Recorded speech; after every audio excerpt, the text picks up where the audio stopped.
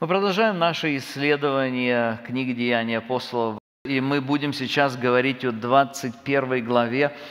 Я немножечко напомню общий контекст, о чем эта книга. Дух Святой позаботился о том, чтобы открыть нам, людям, которые будут жить на протяжении всей истории христианства, всей истории церкви, открыть нам реальность того, каким образом Евангелие Иисуса Христа – утвердившись в Иерусалиме, тогда, когда первая группа людей обратилась к Господу.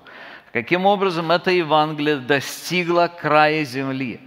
Каким образом Евангелие стало международной, или христианство стало международной церковью, церковью, которая не связана с одним каким-то этническим народом, церковью, которая имеет сегодня спасенных из всех колен, из всех племен, в самых разных точках планеты.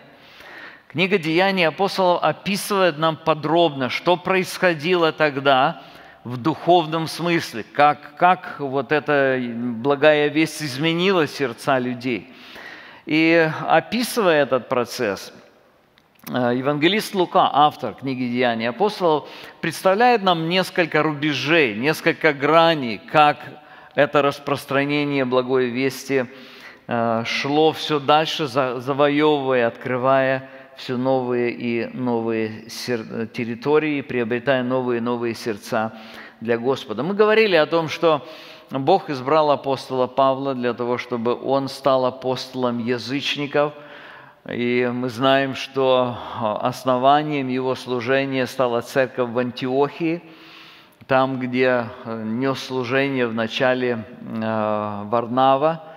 Варнава – это один из первых служителей в Иерусалиме, которого послали в Антиохию для того, чтобы он там помог обращенным из язычников. После какого-то периода времени Варнава понимает, что э, дело Божие настолько большое, что ему нужна помощь. Он зовет на помощь Савла – он тогда еще носил свое еврейское имя Савл. Вот. Они вместе трудятся какое-то время в Антиохии, и из Антиохии Господь побуждает Савла, который в это время примерно получает имя Павел, вот это его а, греческое имя. Павел становится руководителем трех миссионерских путешествий.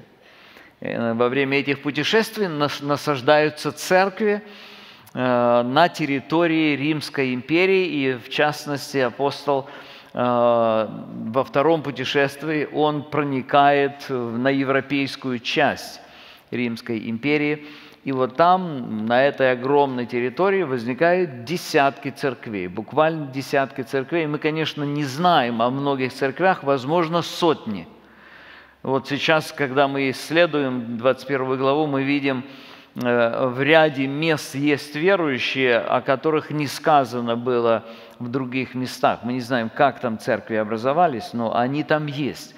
Вот. И это стало, конечно же, в огромной степени результатом служения апостола Павла, который стал открыто, свободно проповедовать язычникам, и Господь благословил его. И вот после определенного периода времени, прошло несколько лет, около 20, наверное, лет прошло, может быть, 15 лет служения, вот такого интенсивного служения апостола Павла, вот, э, церковь Иисуса Христа по своему количеству, по своему объему на языческой территории – или церковь, которая состояла из верующих, обращенных из язычников. Эта церковь стала больше, чем та церковь, с которой все началось, церковь в Иудее. Церковь в Иудее переживала гонение, во-первых. Во-вторых, она была ограничена рамками Иерусалима, рамками вот того народа, который там был. Вот. И на определенном этапе, когда это стало очевидно, а эти, эти две церкви отличались друг от друга. Церкви, которые возникали из язычников, формировались из язычников, они были совершенно другими. Там были другие традиции, там был другой колорит, там была другая атмосфера, отличавшаяся от того, что было в церкви в Иерусалиме, в церкви, которая произошла из иудеев. И вот э, эти обстоятельства, они поставили апостола Павла перед реальностью такого факта, что вот это новое движение проповеди на языческой территории, оно реально затмит собой церковь, с которой все началось, Иерусалимскую церковь. То место, где трудились апостолы, то место, где еще были пресвитера, которые вместе с апостолами начали это служение. И в действительности со временем так оно и будет. После 70-го года, мы знаем, когда Иерусалим был разрушен, после 70-го года мы знаем, что церковь э, в Иудее, а точнее христиане еще до 70-го года, они, Бог послал им откровение, по которому они ушли оттуда, большинство верующих ушли из Иерусалима, и тогда, когда римляне разрушили Иерусалим, церкви там уже не было. То есть фактически церковь осталась, та, которая на языческой территории, и она стала основной церковью и, можно сказать, единственной церковью, потому что церковь в Иудее уже фактически прекратила свое существование, или разрозненные группки были где-то на периферии этого, этой, этой территории. Но вот в процессе того, когда это происходило, в процессе этого мы видим некоторые очень важные действия апостола Павла, которые настолько важны, что Бог поместил их на странице Священного Писания, во-первых, и, во-вторых, настолько важны, что мы сегодня можем их читать, и мы можем отсюда научиться, мы можем научиться многому для нас самих сегодня практически. Апостол Павел, игравший в развитии церкви из язычников гигантскую роль, он развивая это мощное служение среди язычников, он в то же время очень хорошо понимал, что это не другая церковь. Эта церковь является продолжением той же самой церкви Иисуса Христа, которая началась в Иудее. Да, мы разные, да, у нас разный тип богослужений, у нас разные традиции, у нас очень много того, что многие верующие люди, они, верующие из иудеев и верующие из язычников, они с трудом воспринимали друг друга даже. Многим трудно было есть вместе. Помните послание Галатам, вторая глава, где апостол Павел объясняет то, что происходило в Антиохии, когда пришли верующие из Иудеи, пришли верующие из, из Иерусалима. То есть это было достаточно, так скажем, э, разные две группы людей. Вот. И несмотря на это, апостол Павел ясно понимает, он ни в коем случае не хочет, чтобы обосновалось мнение у людей, что там вот одна церковь, а здесь другая религия. Здесь что-то самостоятельное, здесь что-то само собой под руководством апостола Павла. И вот по этой причине апостол идет на несколько радикальных шагов для того, чтобы продемонстрировать всем, для того, чтобы... Это, конечно, было его убеждением глубоким. Он ясно понимал, что нет церкви из язычников и церкви из, из иудеев. Он ясно понимал, что есть только одна церковь. И из понимания этого – он действует. И мы сегодня посмотрим на несколько шагов, на несколько действий апостола Павла, которые представлены здесь в начале, в первой половине 21 главы книги Деяний апостолов.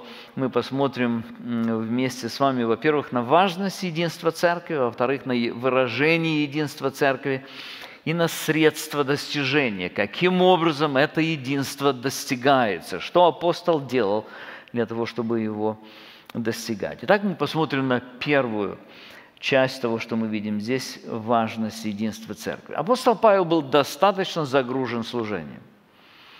Вот те, кто занимался служением, и те, у кого была большая ответственность в служении, имеют представление того, насколько можно быть перегруженным в служении. Причем все дела очень важны.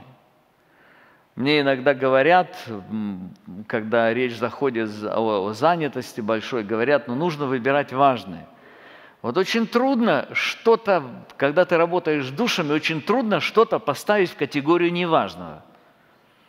У апостола Павла было так же. По мере того, когда увеличилось количество церквей, увеличилось количество служителей, которые там трудились, они нужны были там. Вместе с этим увеличением увеличилось количество проблем. Читайте послание, вы увидите и послание, дорогие мои, это только маленькая часть того, чем занимался апостол Павел.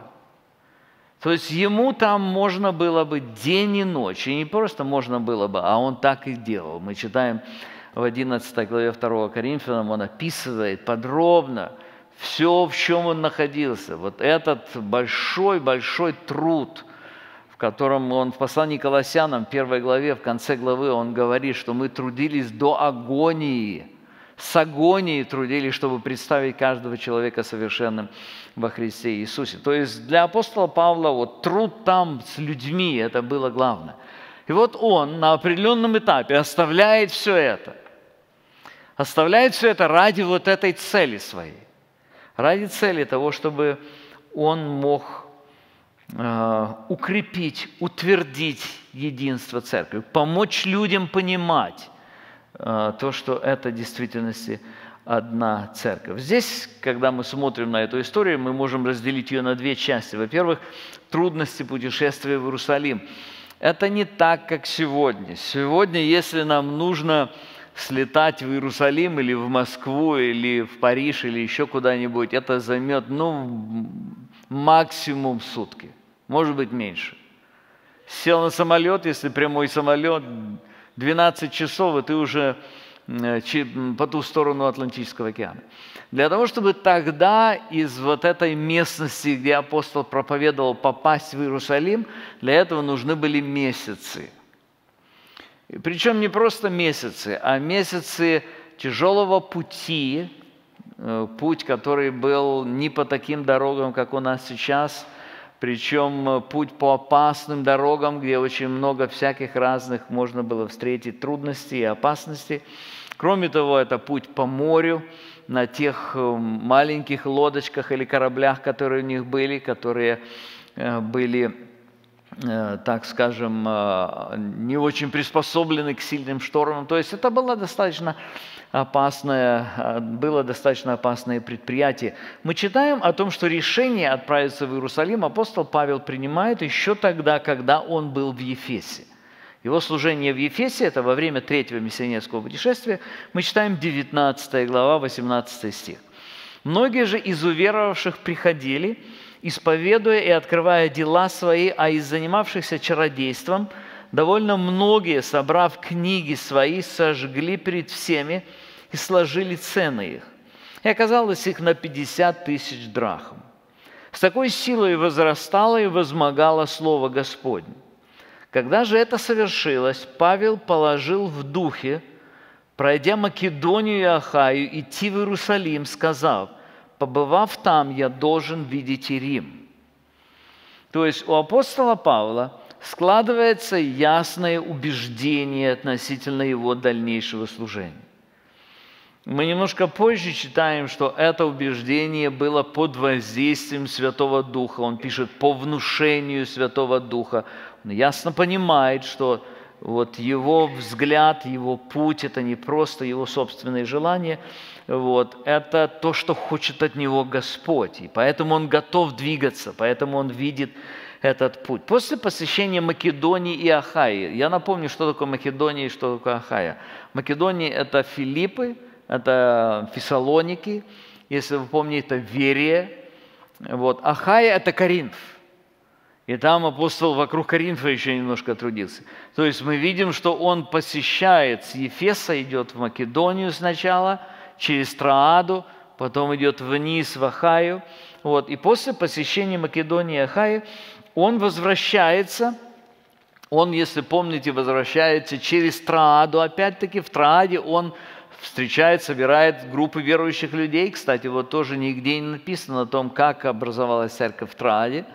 Вот, но мы видим, что именно в Трааде, помните, что произошло в Трааде? Известный случай, который произошел с верующими в Трааде, это вот тот молодой человек, который заснул, который потом Павел его воскресил – то есть Павел останавливается там, он трудится там, и потом из Троады он идет в Мелит.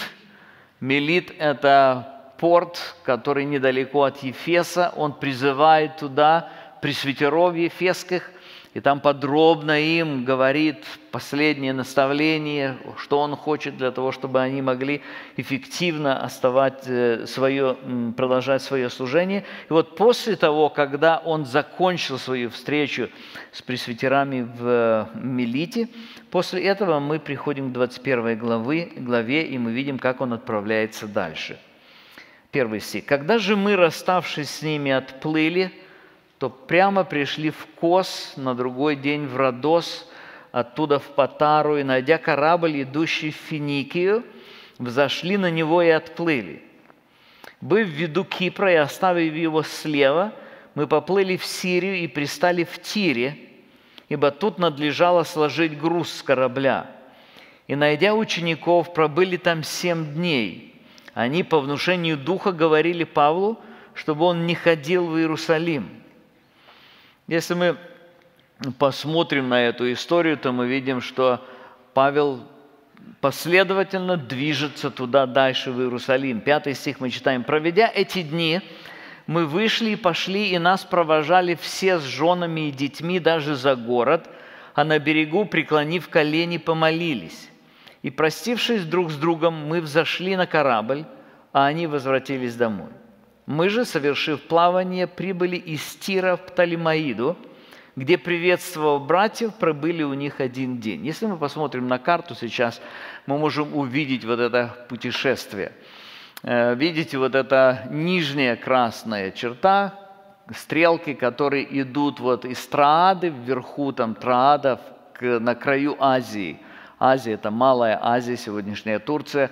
Ну вот с левой стороны вот этого розового участка наверху Траада, вот, и оттуда апостол возвращается, останавливаясь в разных местах, вот они проходят Кипр, у них останов... остается слева, и внизу стрелка сюда приходит, э, Финикия, вот, приходит в Тир. И вот там в Тире, оказывается, есть церковь. Мы тоже не знаем, как она началась. Вот. И они там в Тире, мы видим, что они остановились на 7 дней, по всей видимости, пока корабль разгружался. Там нужно было часть груза оставить. Вот. Это заняло 7 дней, и в течение 7 дней апостол общается там с учениками. После этого они отправляются в следующий порт внизу, вот ниже этого, Птолемаида или современная Акка. Этот порт, который находится на самой э, северо-западной границе Израиля, между Израилем и Ливаном сегодня. Вот. И этот город назывался, здесь мы видим, Птолемаида. Вот. Но его древнее название, которое сейчас есть, он называется, это город Ака. И оказывается, там есть верующие. И там есть верующие, и апостол там проводит не так, правда, много времени, он проводит там всего один день. Вот. И потом э, приветствовал братьев, пробыли у них один день, и потом восьмой стих мы читаем, а на другой день мы, бывшие с ним, выйдя, пришли в Кесарию, и, войдя в дом Филиппа, благовестника, одного из семи диаконов, остались у него. От э, Ака или Птолемаиды до Кесарии примерно 40 миль.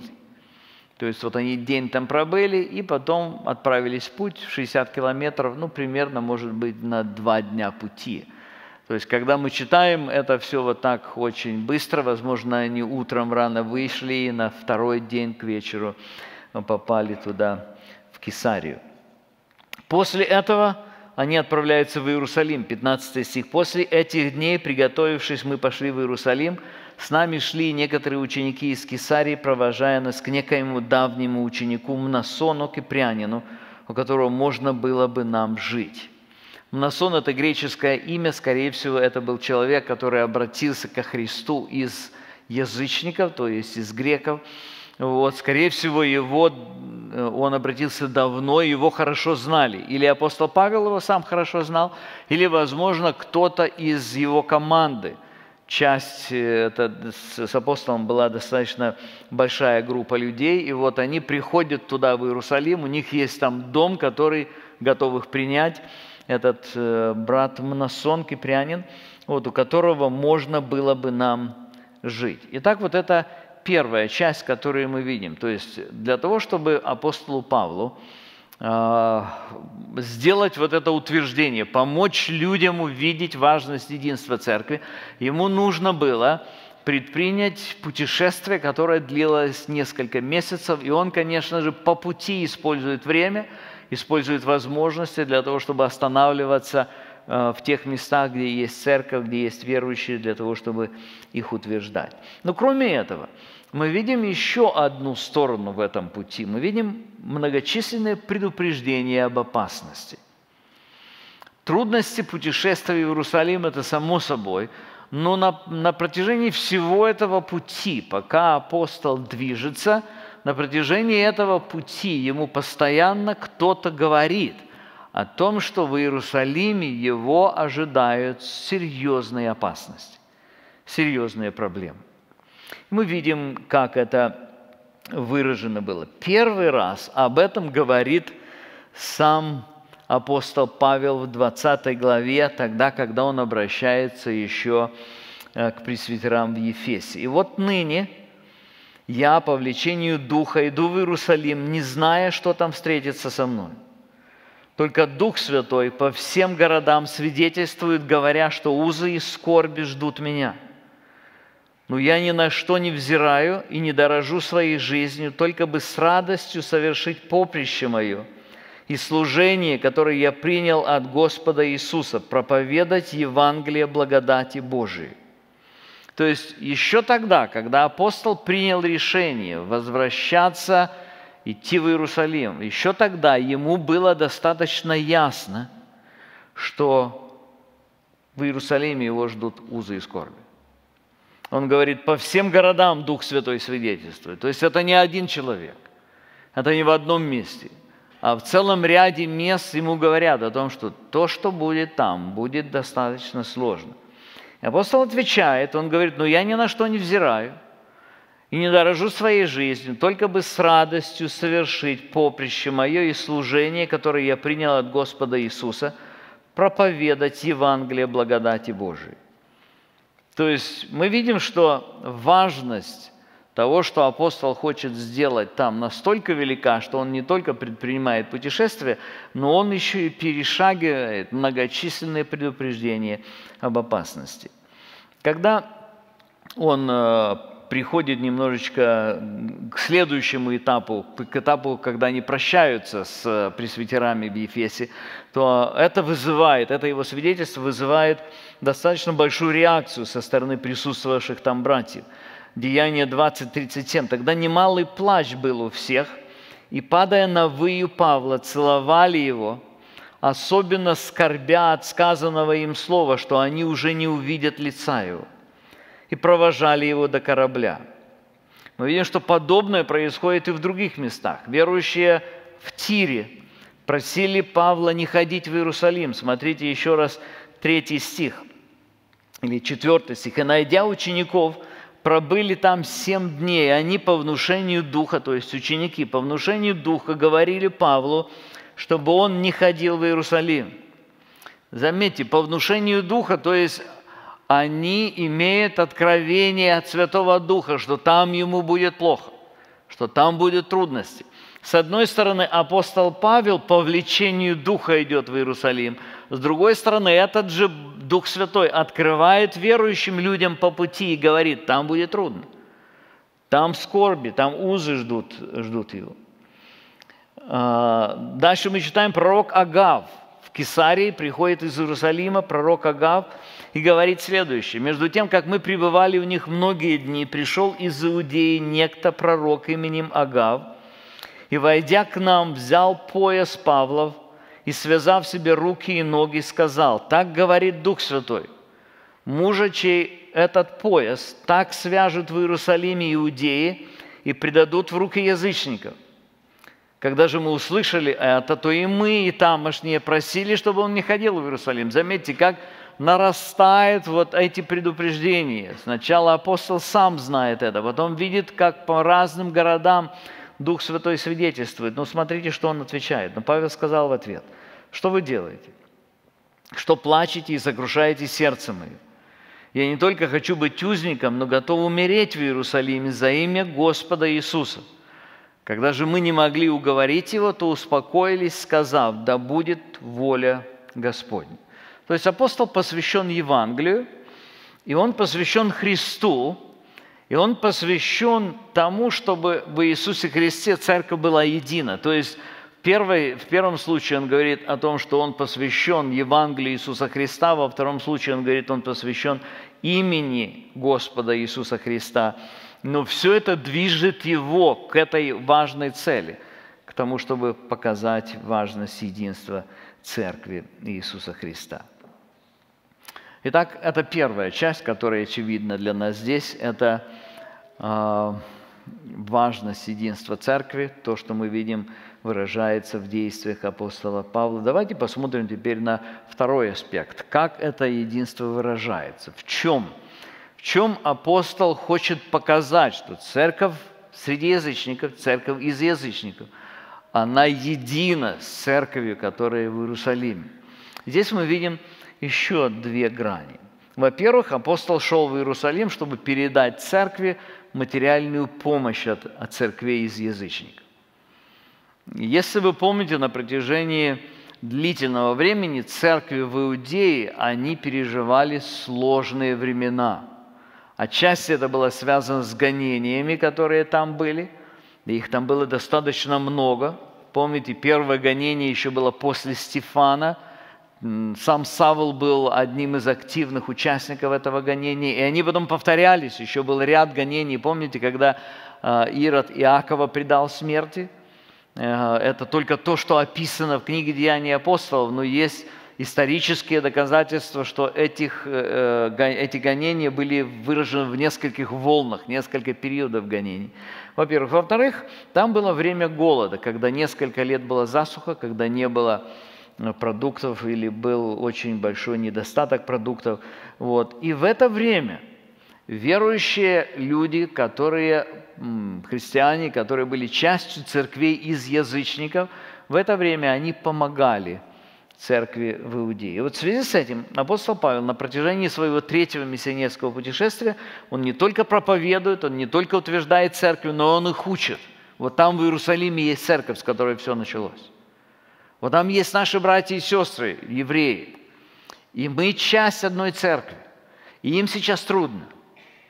И нам нужно им помочь.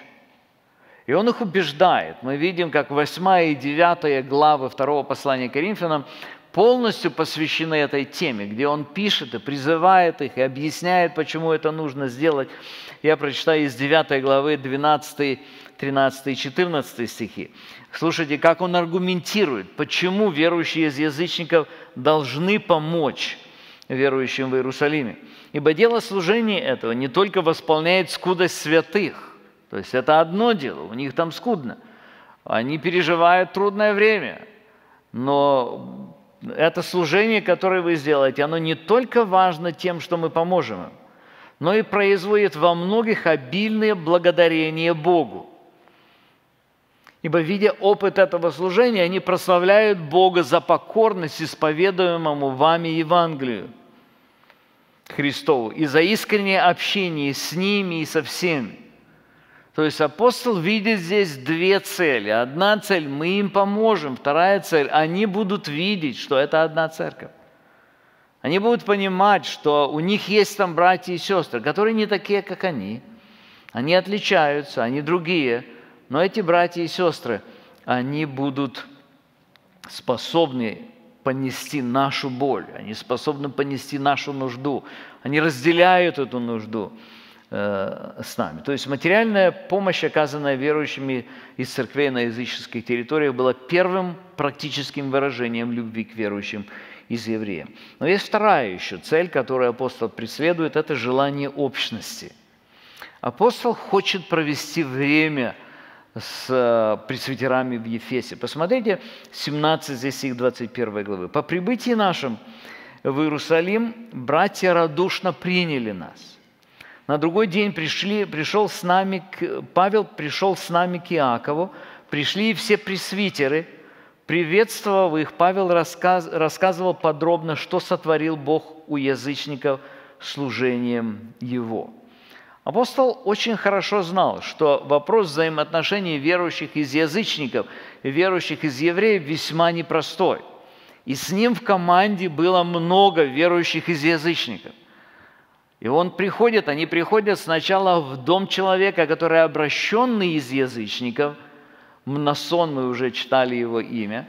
И первая встреча происходит именно в этом доме, в доме, когда здесь присутствуют обращенные из язычников, э, обращенные к Иисусу Христу. Вот, и сюда приходят смотрите, по прибытии нашему в Иерусалим братья радушно приняли нас. То есть, скорее всего, мы имеем здесь дело с первым уровнем общения, такое неформальное общение в доме этого Мнасона, которое, скорее всего, включало в себя какую-то сравнительно небольшую группу людей.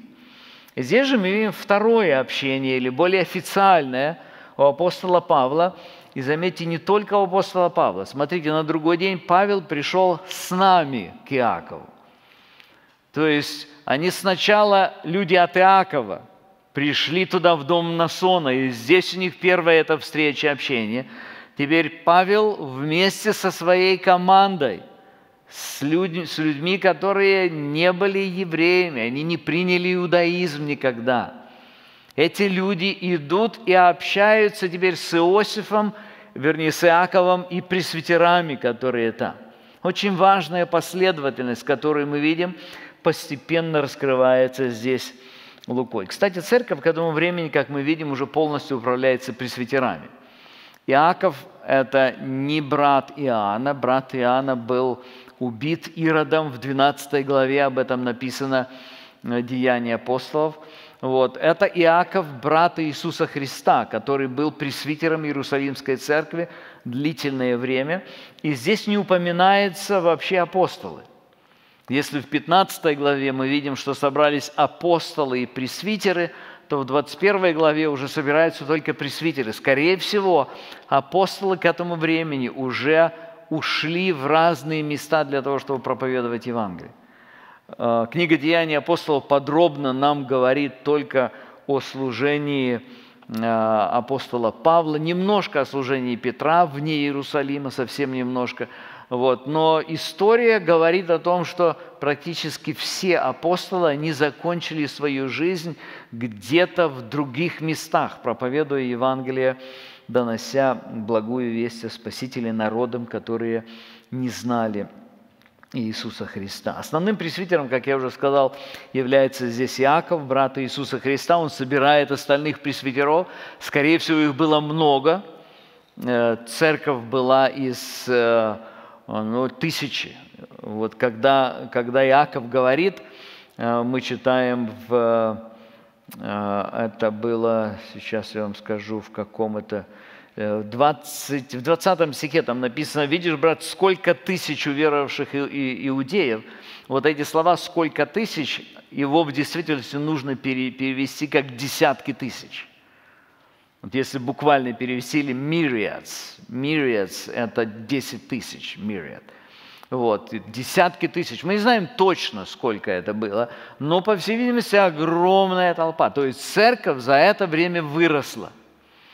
Говорят, что якобы в церкви в Иерусалиме было 70 пресвитеров, но возможно, что это просто, просто легенда, потому что э, в Синедрионе было 70 членов, Синедрион состоял из 70 членов, что в принципе возможно, 70 или, или 100, или мы не знаем, сколько было на, на церковь из несколько тысяч человек, сколько там, ну, вернее, десятков даже, может быть, тысяч человек, сколько там было служителей, но тем не менее эти служители собираются, вот, и апостол хочет с ними общения, он приветствовал их, подробно рассказывает, мы видим, то, что Дух Святой действует, Дух, Дух Святой спасает, Он изменяет э, людей, которые э, обращаются к Господу из язычников, не пройдя путь принятия иудаизма до того. Итак, мы посмотрели уже на две части. Мы говорили о важности единства церкви.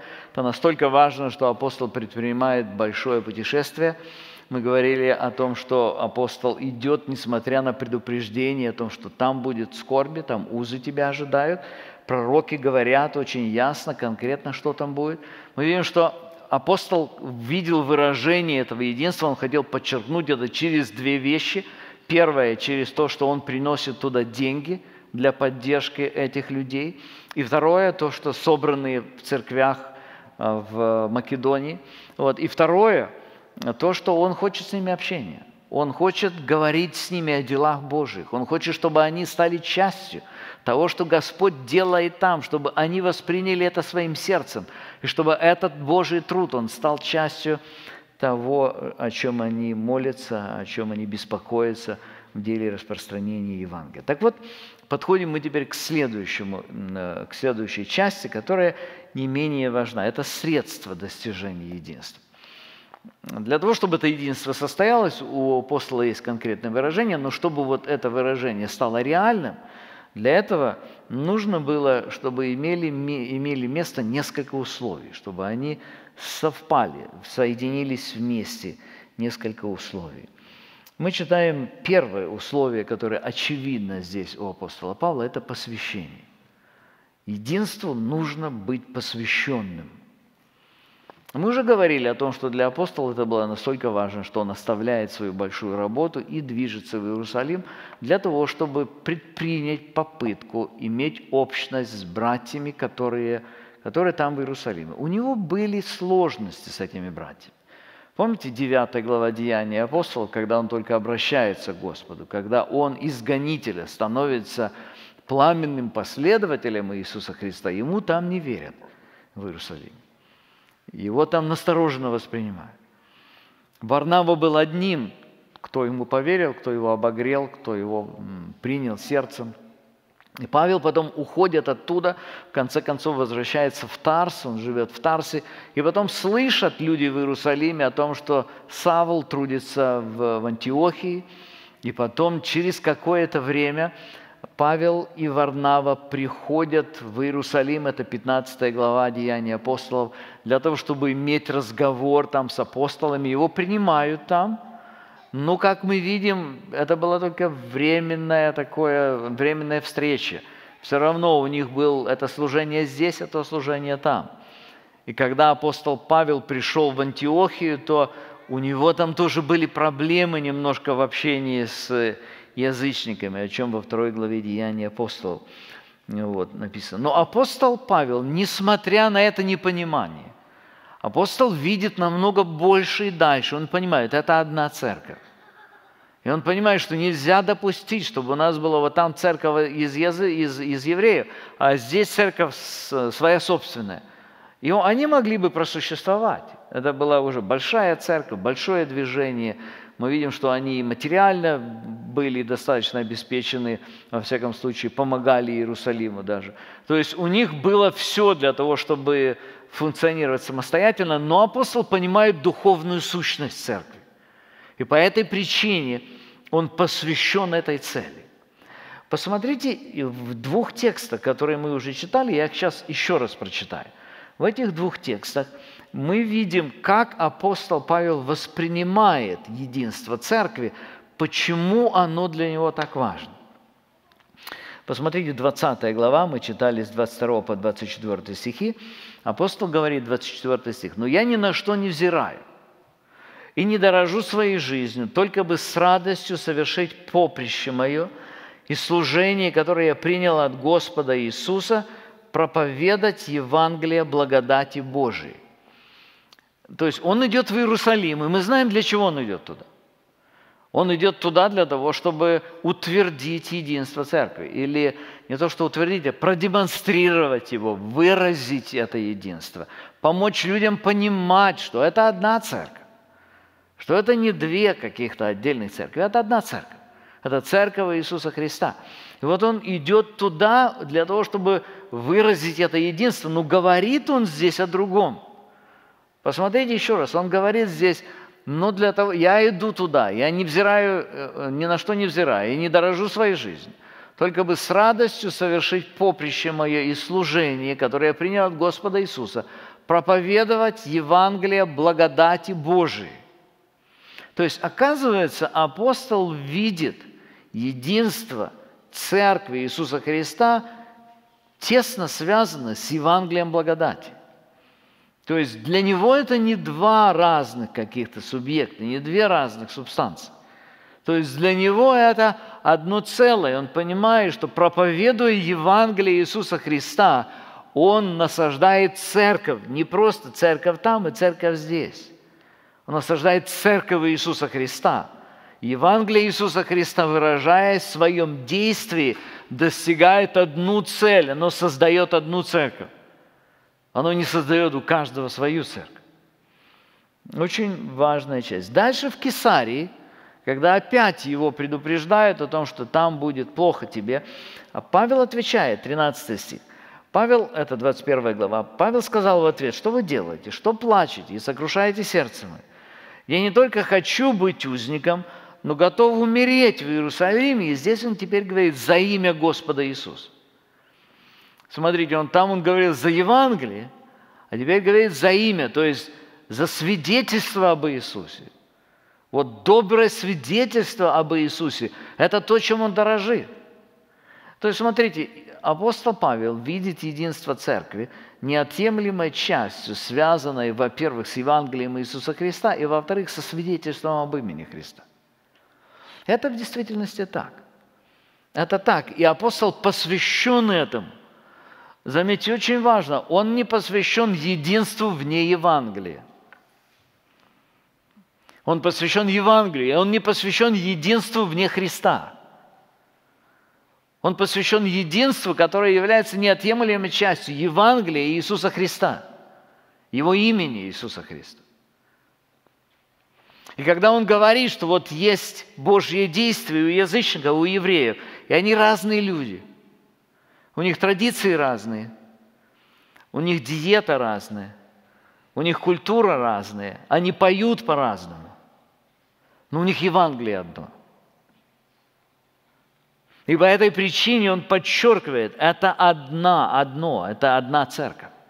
Это единая церковь. И он посвящен этому. Опять очень важная деталь, друзья. Это не просто посвящение единству которая оторвана от реальности Христа, от реальности Евангелия. Это посвящение Евангелию. И это посвящение Христу, которое тесно связано, оно генерирует церковь, которая едина. Двух церквей нет.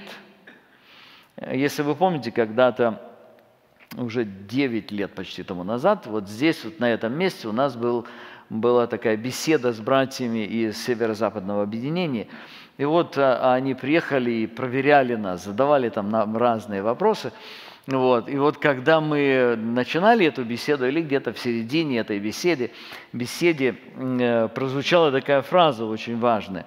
Мы им сказали, братья, вы понимаете, что мы все равно баптисты. Как бы вы там ни думали, как бы вы ни решили после этого вашего решения, мы все равно одна церковь Иисуса Христа – и вот это очень важно понимать. Вот этому посвящен апостол. И очень важно понимать, что наше посвящение не каким-то сектантским взглядом, не какому-то своему огороду. Наше посвящение Евангелию Иисуса Христа, а значит церкви Иисуса Христа. Это единая церковь Иисуса Христа. То есть все те, кто связан с Евангелием, кто исповедует Евангелие, кто является частью вот того э, тела Иисуса Христа, все эти люди являются наши, они имеют единство с нами. Конечно, такое посвящение требует мужества. Когда мы видим вот это посвящение апостола, это было не просто идейное посвящение. Это не просто так, что апостол должен был поднять руку. Кто за единство с верующими в, в Иерусалиме? Это было бы проще. Вот для того, чтобы вот это единство реально осуществлялось, Павлу нужно было платить цену за это. То есть он понимал, что это настолько важно, что он фактически вкладывает свою жизнь для того, чтобы достигать. Он готов подвергать себе неудобствам, страданиям, даже смерти ради достижения этой цели. В этом, кстати, смысл слова посвящение. Посвящение – это очень просто. Посвящение связано с ценностями. У каждого из нас есть наши ценности. Каждый из нас соприкасается с реальностью того, что мы принимаем решения в соответствии с тем, что, наше, что для нас ценно. Вот сегодня здесь не так много людей. Это значит, что для многих что-то оказалось более ценным. Мы не знаем почему, может быть, в действительности что-то более ценное, а возможно, что-то просто в глазах человека более ценное. Но во всяком случае, каждое наше решение мы предпринимаем, пойти или не пойти, мы предпринимаем, исходя из понимания того, что же ценнее, что же важнее для нас, что дороже, что нужнее для нас. В каждой ситуации именно так принимается решение. И вот в данном случае мы видим посвящение апостола Павла, было посвящение единству церкви, было выражено в том, что он готов платить цену, он готов оставить ту свою огромную работу, где он был очень нужен. Он готов был для того, чтобы вложить несколько месяцев. Потому чтобы поехать, и как мы видим, что не, не несколько месяцев, а несколько лет получилось. Для того, чтобы это служение осуществилось. В этом смысл посвящения Христу. Итак, для того, чтобы было единство, единство невозможно без посвящения. Это трудная вещь. Для того, чтобы единство было, это трудная вещь. Почему? Потому что мы все разные. И когда мы говорим о том, что мы разные, мы говорим о том, что мы э, создаем неудобства для того, чтобы принимать друг друга. Нам трудно принимать друг друга. Почему? Потому что люди думают не так, люди делают не так, люди традиции у них другие, люди воспринимают друг друга по-разному. Вот. И вот для того, чтобы иметь единство с кем-либо вообще, нужно посвящение. Это первое, что мы видим. Второе, то, что мы видим в апостоле Павле, это смирение. Это второй элемент, без которого достижение единства невозможно. А точнее, оно-то есть это единство. Просто люди не могут его выразить. Они не могут подчеркнуть и сказать, что мы едины в Иисусе Христе. А, мы видим, как это проявилось у апостола Павла. Апостол Павел был великий человек.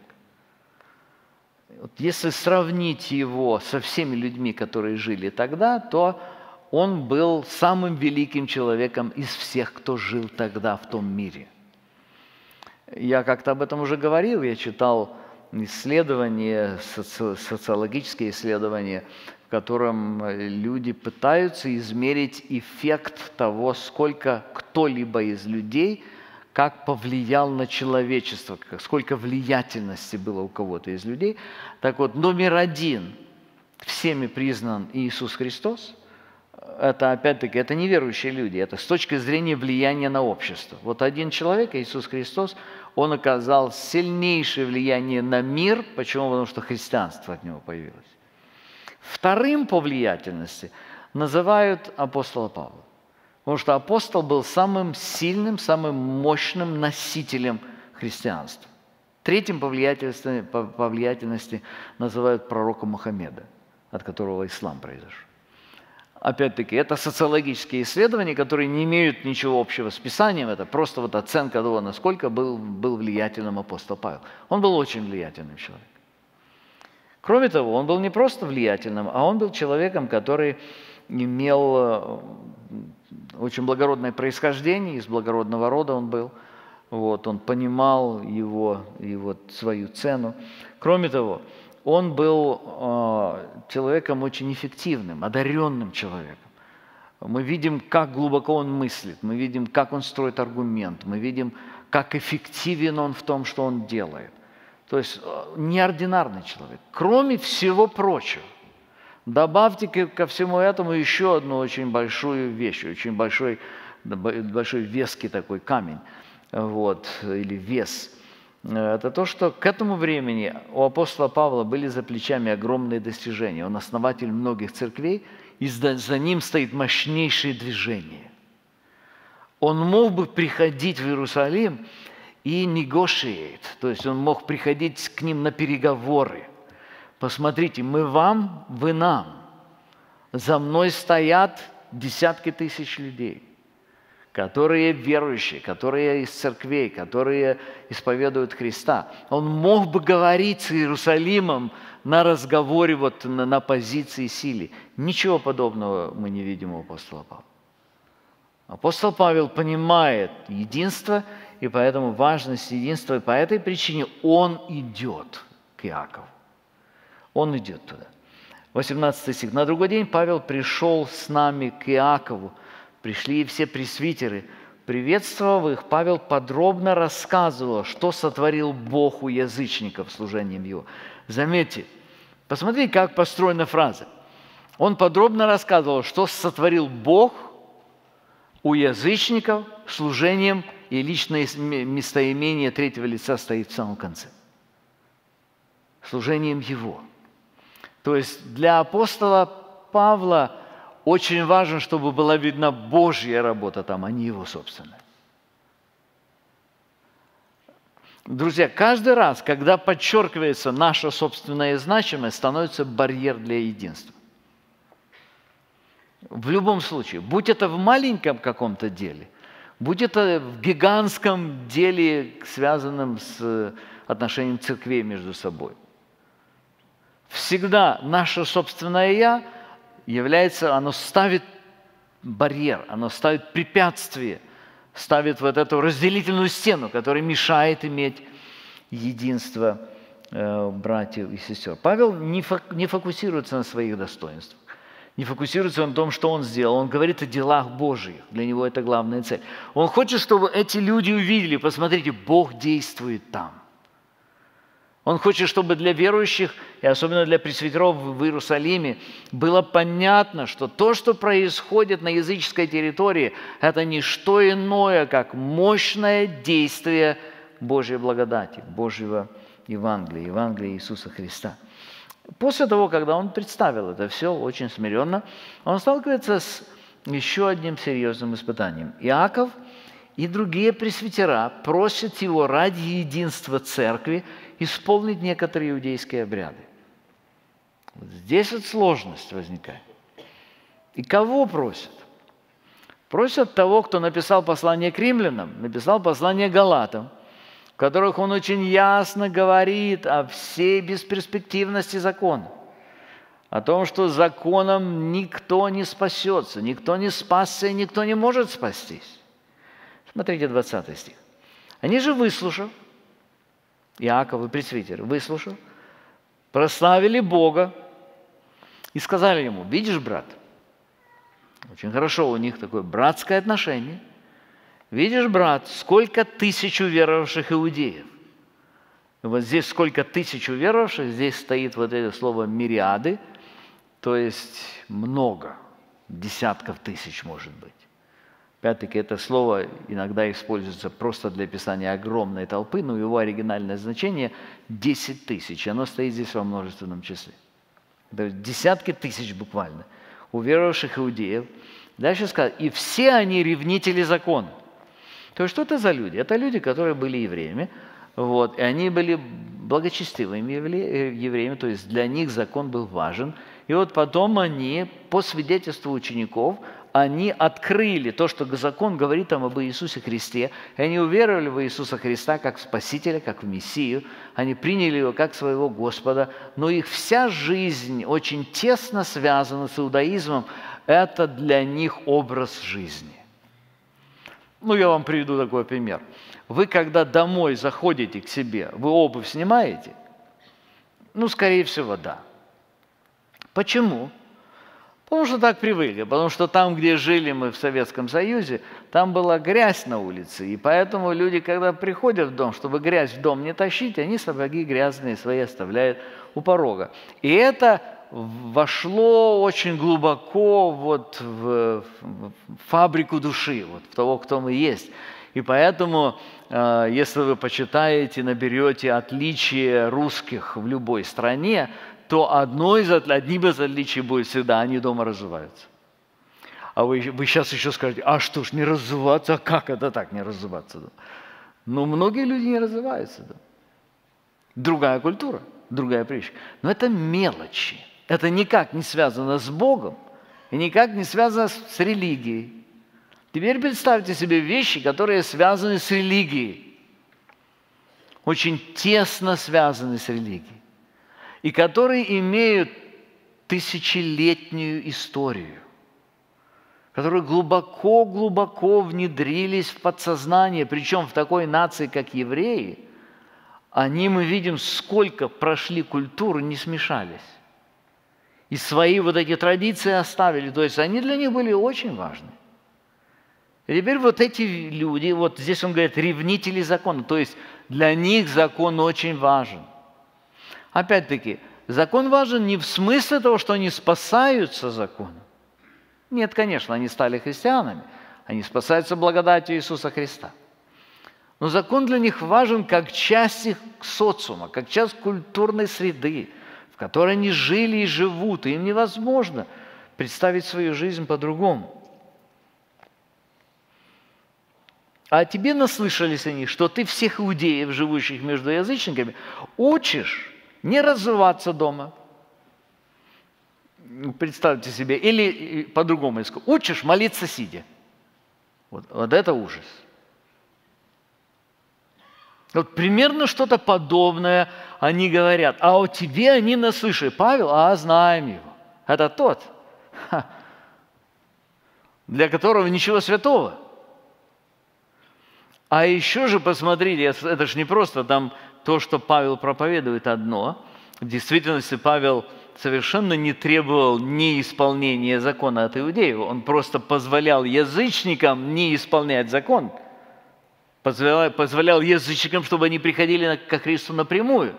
Но злые языки, сплетники, клеветники разные – они работают очень хорошо для того, чтобы вот эту всю информацию распространить так, как им это, как им это удобно. И поэтому вот эти тысячи или десятки тысяч верующих, обращенных из евреев – они собрались там, они живут там в Иерусалиме, они любят Христа. Ну вот им дошли разные слухи. Павел, он такой секой, он учит молиться сидя, он, ну это примерный эквивалент, очень маленький опять-таки, не, несравнимый с тем, что, что было тогда. Он учит есть с язычниками вместе, например. А для них есть с язычниками было конец света, очень, очень сложным.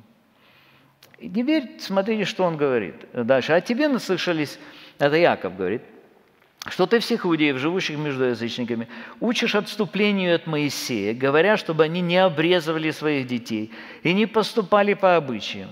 Итак, что же, верно соберется народ, ибо услышат, что ты пришел. Вы помните, что вот этим евреям вообще было очень трудно общаться с язычниками настолько, что Богу пришлось послать или дать апостолу Петру два двойное видение, когда он был в Иопии. Двойное видение, когда это полотно сошло, и потом дополнительное, когда он говорит, вот тебя ждут здесь, там, там пришли люди, ты пойди с ними.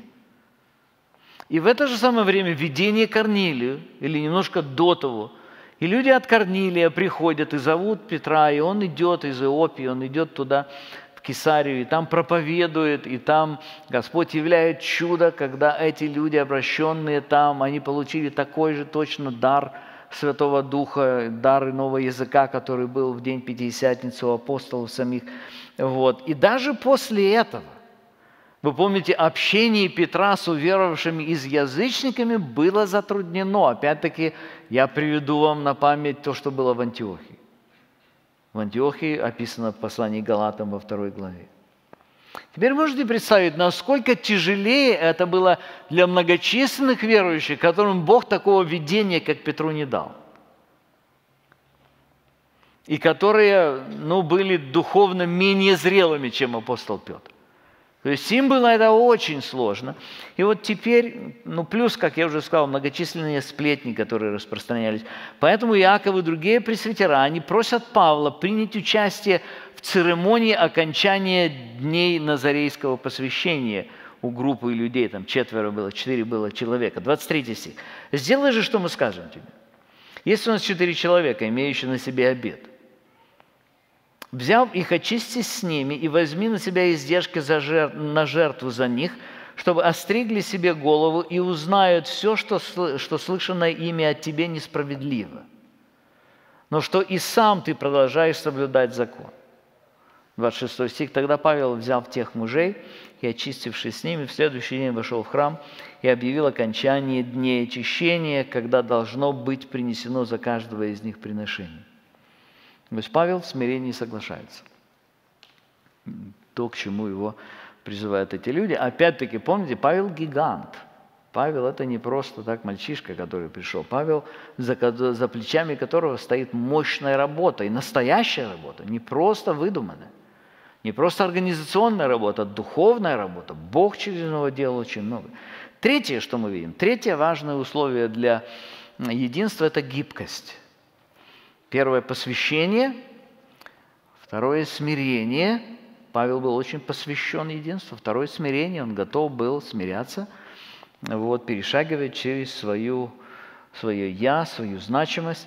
Третье – гибкость. Вы помните, что апостол Павел был пламенным борцом за то, чтобы э, отстаивать, что язычники могут стать спасенными людьми без того, чтобы они исполняли закон, без того, чтобы они стали, приняли э, иудаизм или стали, стали частью израильского народа, стали прозелитами. Как я уже сказал, он посвятил этой теме два послания, послание Галатам, послание к римлянам. Видно, что это очень важная для него тема. Вот. Во многих других местах он говорит об этом. Он об этом говорит в синагогах. Вот читайте, как он проповедует, идет от синагоги к синагоге. Он говорит о том, что Христос, а не закон. Он говорит о том, что Евангелие, а не церемонии. Для него это очень и очень важно. И вот здесь его просят, ради того, чтобы помочь верующим из иудеев сохранять единство с церковью из язычников – его просят исполнить определенные положения закона, и он соглашается. Некоторые скажут, на компромисс пошел Павел. Компромиссник какой-то. В действительности нет. Когда мы, смотря что мы подразумеваем по словам компромисс. В действительности э, для апостола Павла это был вопрос смирения и вопрос гибкости. Он не идет на компромисс с Евангелием здесь. Для него абсолютно ясно, он нисколько не поменял свое мнение, что спастись человек может только через Евангелие Иисуса Христа. Здесь в данном случае он берет на себя издержки за церемонию окончания обета Назарейства, который держали этот обет, держали другие люди. Что такое обет Назарейства? Вы помните, что апостол Павел сам э, давал этот обет уже после своего обращения – Помните, там написано «остригши голову в кенхреях по обету». Что это такое было? Это было время или форма выражения особого посвящения себя Богу для какой-то цели. Такая форма была предписана в шестой главе книга чисел. Подробно предписано, что происходит или как это должно было происходить. Вот. И вот после того, когда апостол Павел стал христианином, он, мы видим, прибегает к этой форме. Он не возвращается в закон для того, чтобы закон стал инструментом его спасения. Но он прибегает к этой форме. Почему? Потому что эта форма позволяла выразить как-то, что он посвящен Богу, что он посвящен на определенную цель, он посвящен для достижения каких-то задач, которые он, которые он ставит. И теперь мы видим, что четыре человека какие-то, которые дали обед назарейства. И теперь этот обед заканчивается. И в конце этого обета они должны были остричь голову. Что значит остричь? Это не, не на лысо постричься. Когда человек принимает, принимал обед назарейства, он не подстригался до того времени, пока этот, этот период закончится. И вот после тогда, когда заканчивается, он нормальную прическу приобретает. То есть вот тогда его, его подстригали. И это не просто это было изменение прически, а окончание этого периода – должно было быть ознаменовано специальным жертвоприношением. И это жертвоприношение, вот в данном случае э, Иаков и другие пресвитеры, пресвитеры вот, они предлагают Павлу, ты оплати это жертву, пойди с ними оплати это жертво, жертвоприношение. Вот, это позволит э, людям увидеть, посмотрите, 24 стих – и узнают, что, что слышанное имя о тебе несправедливо. Что несправедливо? Несправедливо вот что, что Павла представили как человека, который поставил перед собой цель – разрушить традиции Израиля, разрушить то, чем жили евреи. Для этого это, это никогда не было для Павла цели. Для Павла всегда была цель, главное Евангелие. А если есть традиции у кого-то какие-то, это, это второстепенные вещи. Вы помните, апостол Павел пишет 1, 1 а, Коринфянам 9 глава, он говорит, для всех я сделался всем, для иудеев я был как иудей. Почему? Только бы достигла Евангелие благодати этих людей. То есть апостол Павел ставит здесь в, в правильную перспективу эти вещи. Единство невозможно без гибкости, друзья. Оно требует способности и готовности уступать во второстепенных вещах. Можно быть таким правильным, что ты останешься один вообще на белом свете. Почему? Потому что все неправильные. Это точно. Все неправильные. Вот посмотрите, сколько нас здесь, и все неправильные. У каждого из нас есть что-то, что если тщательно посмотришь, и здесь не прав, и ты тоже не прав, и ты, и ты тоже не прав, и ты вообще тоже не прав. Если не быть гибким, если не быть способным воспринимать, речь не идет о том, что неправильное называть правильным. Нет, речь идет о том, чтобы э, сортировать вещи. Есть более важные вещи, есть второстепенные вещи. И вот во второстепенных вещах, даже ценой определенной жертвенности, апостол уступает. Апостол уступает ради единства. Он готов посмотреть на вещи с точки зрения ближнего, для того, чтобы не потерять с ними отношения, для того, чтобы иметь это единство вместе с ними. Вместе с ними. И последнее качество, которое, условие, которое нужно для того, чтобы достигать единства, это жертвенность. Мы говорили о посвящении, этому нужно быть посвященным. Мы говорили о смирении. Единство без смирения невозможно. Мы говорили о гибкости – только что. И, и четвертое – жертвенность. Апостол Павел заплатил большую цену. Ну, во-первых, он уже заплатил цену, что он приехал сюда для того, чтобы поговорить с, с апостолами, с пресвитерами, для того, чтобы привести им деньги, для того, чтобы помочь им. Он преодолел длительный путь, когда он шел, когда он находился в опасностях, в самых разных опасностях находился. Но вот здесь сейчас он еще платит цену, он оплачивает это жертвоприношение. И, скорее всего, это было ну, достаточно дорого, это стоило каких-то денег. Посмотрите 24 стих. «Взяв их, очистись с ними, и возьми на себя издержки на жертву за них, чтобы остригли себе голову и узнают все, что слышанное ими о тебе несправедливо, но ты и сам продолжаешь соблюдать закон. Итак, история возвращения апостола Павла в Иерусалим помогает нам более ярко увидеть важность единства в Церкви Иисуса Христа. Я думаю, что сейчас, когда мы говорили о единстве, когда мы говорили о том, что делает апостол Павел, я думаю, что уже на протяжении этого времени вы могли смотреть и проверять свое сердце. И проверять, а каким образом вы относитесь к единству Церкви Иисуса Христа. Опять-таки, я подчеркну еще раз, что это единство не в отрыве от Евангелия. Это единство, Павел посвящен Евангелию, которое приводит к единству. Это Евангелие не в отрыве от Иисуса Христа. Павел посвящен имени Иисуса Христа, которое дает единую церковь. Но это Евангелие, и это единство – оно требует от нас определенных отношений для того, чтобы мы могли выражать это единство. Я еще раз повторю, четыре вещи, которые апостол проявляет здесь, которые есть у апостола Павла, которые ясно продемонстрированы здесь. Первое – это посвящение. Единству нужно быть посвященным. Посмотрите на ваше сердце и посмотрите на ваши отношения. Отношения с церковью, отношения с братьями и сестрами отношениями с людьми вокруг вас, насколько вы посвящены единству с ними.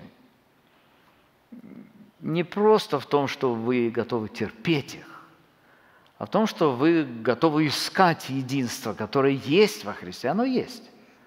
Если это верующие люди, э, оно есть, это единство. Во-вторых, это смирение в процессе практического выражения единства, братья и сестры. Самым главным барьером стоит наше собственное «я». И оно выражается ли в том, что мы недостаточно посвящены, то есть ленимся, не готовы вкладывать усилия. Или же наше «я» не позволяет смириться перед другим человеком. Мы очень большого мнения о себе, о своих достижениях, о своей праведности. Мы правильные, конечно же, мы правильные.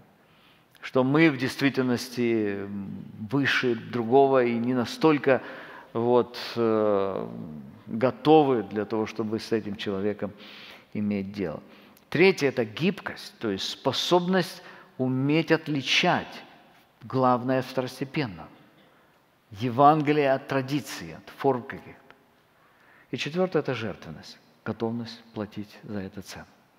Я думаю, что сейчас у нас есть очень хороший повод для того, чтобы помолиться. Мы сейчас склоним колени, и я хочу попросить каждого из вас, помолитесь о своем сердце. Помолитесь о вашей способности быть посвященным единству. В вашем способности это единство выражать, генерировать, поддерживать, чтобы оно было очевидным в вашем непосредственном окружении и во всей церкви, в которой Господь вас поместил. Склоним колени и помолимся. Господи Боже наш, мы благодарим Тебя за то, что сегодня Ты даешь нам эту прекрасную возможность посмотреть на жизнь Твоего апостола. Это очень большие уроки, которые Ты нам преподаешь. Эти уроки, которые показывают нам реальность жизни Твоей церкви. Они показывают нам благодать Твою, они показывают нам силу Твоей любви, они показывают нам действенность Твоего Евангелия, то, что Ты в действительности спасаешь людей, вот, совершенно разных, таких как евреи и язычники, Ты собираешь в одну церковь. Мы благодарим Тебя за то, что Ты показал нам, как этому был посвящен апостол Павел – и сегодня, Господи, обращаясь к Тебе, мы просим Твоей милости к нашим сердцам, к нашей жизни. Ты видишь, Господи, что мы зависим от Тебя. Мы зависим от того, чтобы Ты подействовал в нас. Научил каждого из нас посвящению, смирению, гибкости и жертвенности, для того, чтобы мы могли быть Твоим инструментом, достигающим единения Церкви Твоей. Просим Тебя, Господи, обо всем этом во имя Господа нашего Иисуса Христа. Аминь.